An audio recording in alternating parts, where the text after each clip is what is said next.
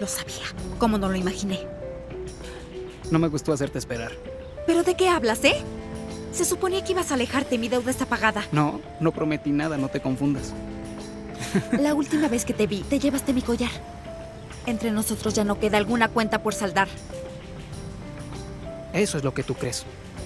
Tú eres la futura esposa de Kerem Haktanir, pero no deberías olvidar que todo fue gracias a nuestra confidencialidad, gracias a nuestro acuerdo.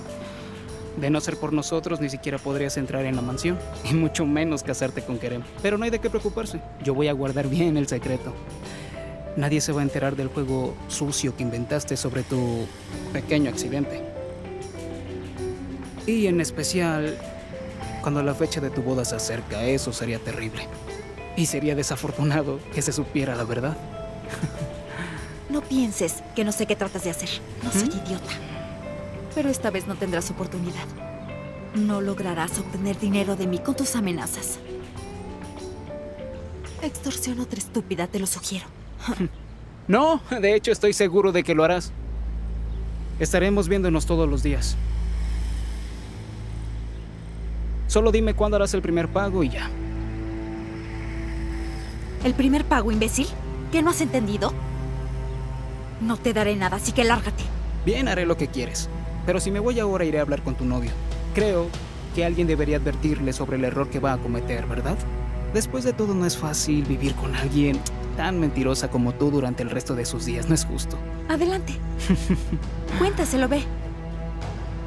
¿En serio crees que le va a creer a alguien como tú? Solo mírate. Pobre rata, eres una marioneta en todo esto. La verdad no eres nadie. Escúchame. Si continúas entrometiéndote así, te juro que voy a hacer que te arrepientas. Es la última advertencia.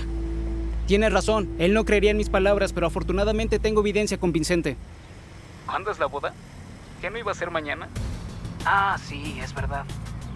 Em, ¿Tú crees que si voy con Kerem y le digo, ¿qué crees? Tu novia puede caminar. ¿Piensas que se casaría contigo?